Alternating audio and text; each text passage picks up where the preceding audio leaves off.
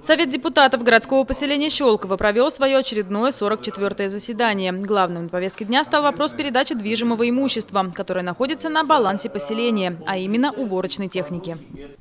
Депутаты приняли решение передать две единицы техники в ведение Щелковского физкультурно-оздоровительного комплекса и одну единицу в ведение городского парка культуры и отдыха. Это тракторы с навесным оборудованием и вакуумные уборочные машины, попросту говоря, уличные пылесосы. Депутаты также передали администрации Щелковского района часть полномочий городского поселения по организации водоснабжения и водоотведения. Речь идет о капитальном ремонте водозаборных узлов в поселке Краснознаменский, деревне Серкова и на Соколовской улице в Щелкове, а также ремонте и модернизации канализационных сетей в Щелкове-4.